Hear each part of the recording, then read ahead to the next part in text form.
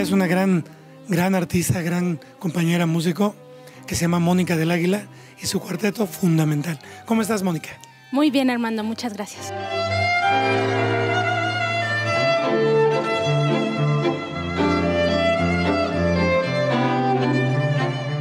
Mis primeros recuerdos de la infancia son en el conservatorio, ahí vivíamos y me la pasé muy bien. Digamos que yo nunca, bueno, nunca me pregunté qué iba a hacer en la vida, yo me dejé llevar.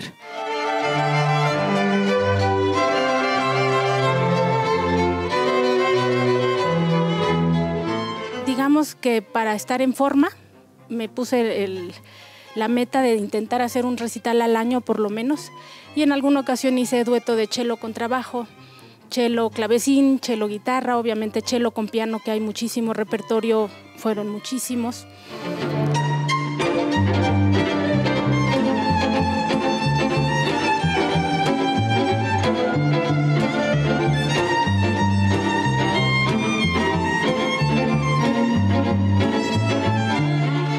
¿Tú haces cantar el cello? Sí, el violonchelo eh, tiene una tesitura en la que no hay que forzar la voz. Tanto mujeres como hombres podemos cantar.